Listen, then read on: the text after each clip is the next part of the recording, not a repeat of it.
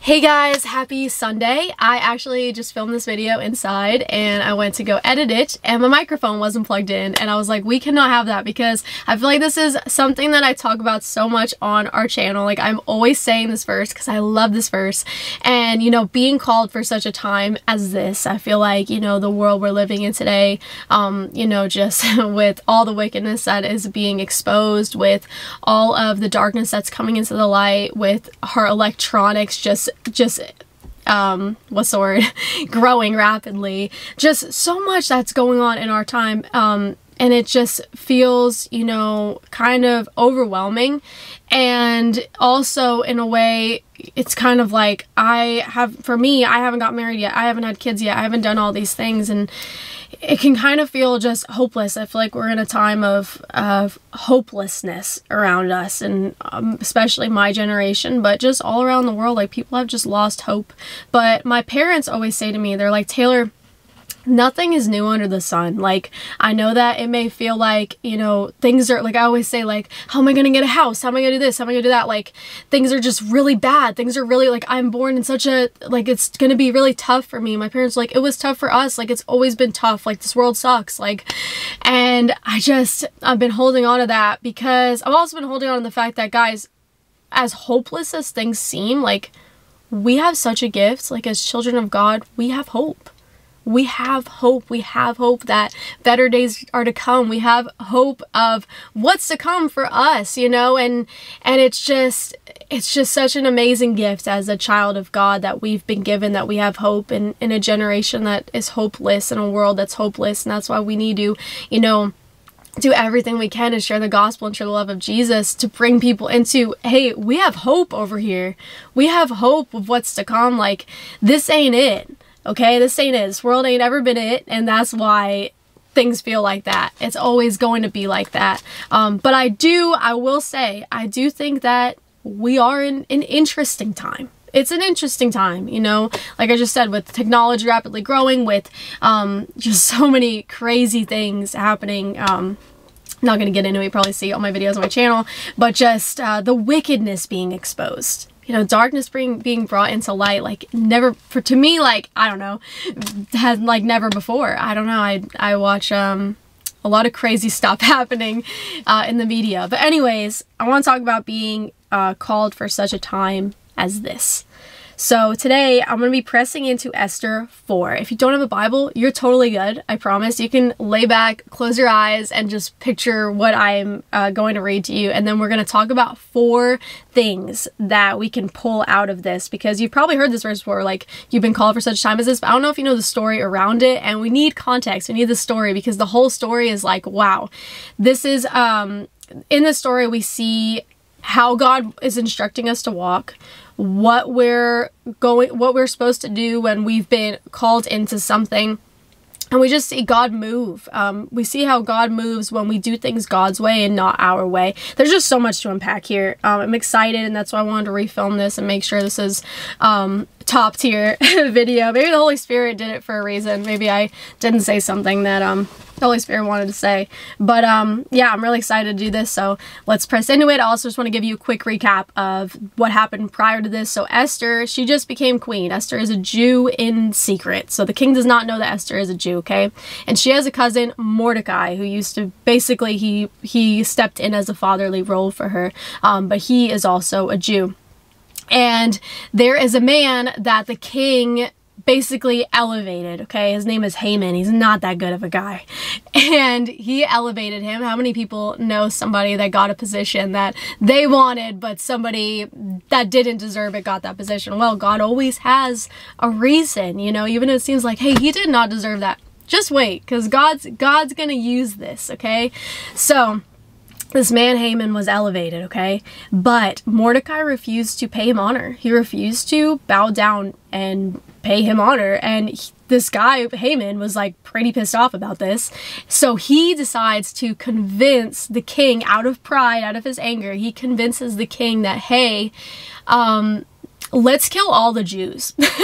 because I just hate all the Jews. Look at anger growing. Look at what pride leads to. Like such a heinous, like how could you even get to that point you know like his heart was such stone that it was like let's just kill all of them like and the king who is not the brightest of the bunch he um he is easily so easily persuaded we see throughout the book of esther if you haven't read the book of esther in its whole um and you haven't been following along with us you should totally go back because these this is it's just so crazy.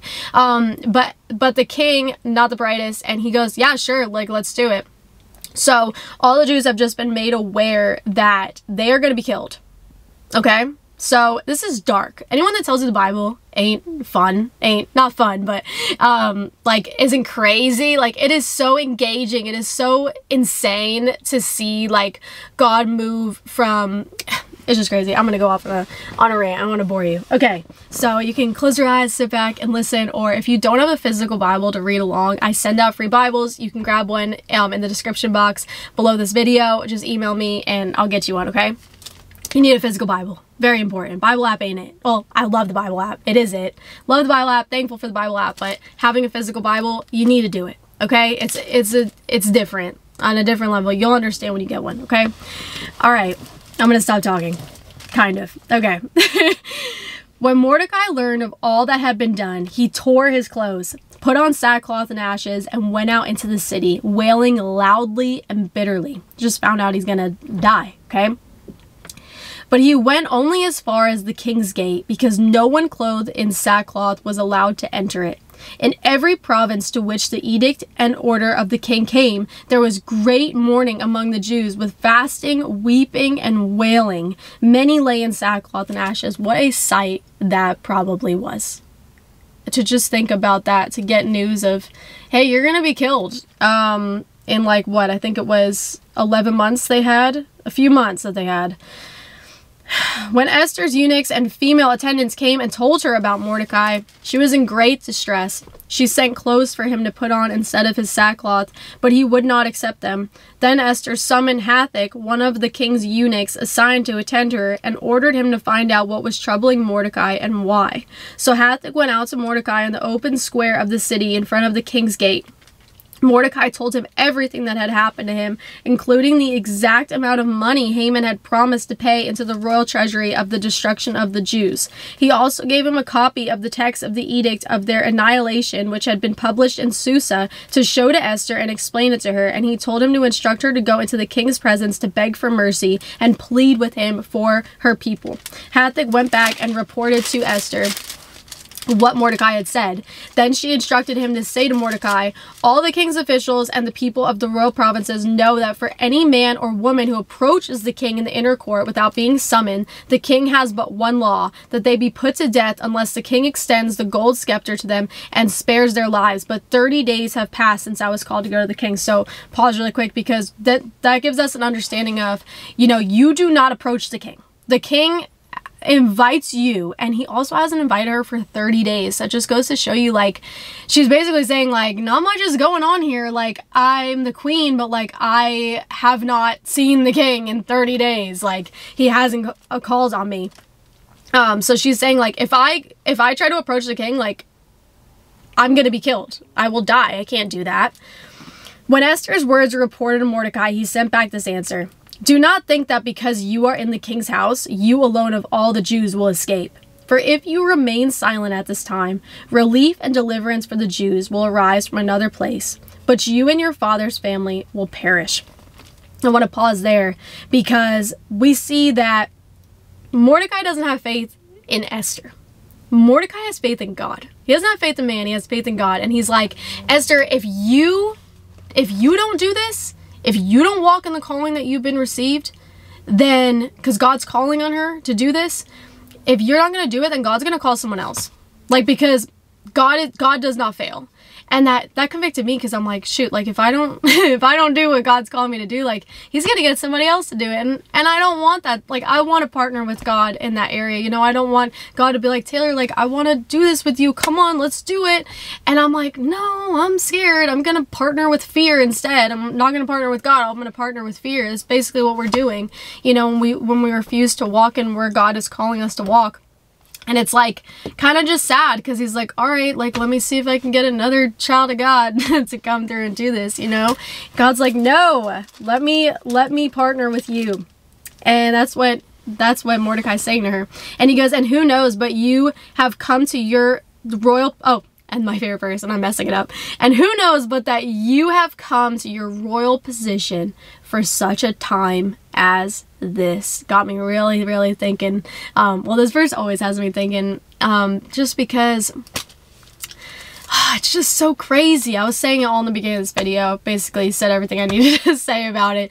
But it is just so crazy to be to be called right now, guys. It kind of gives me like some fire in a way because I'm like, this is just crazy times.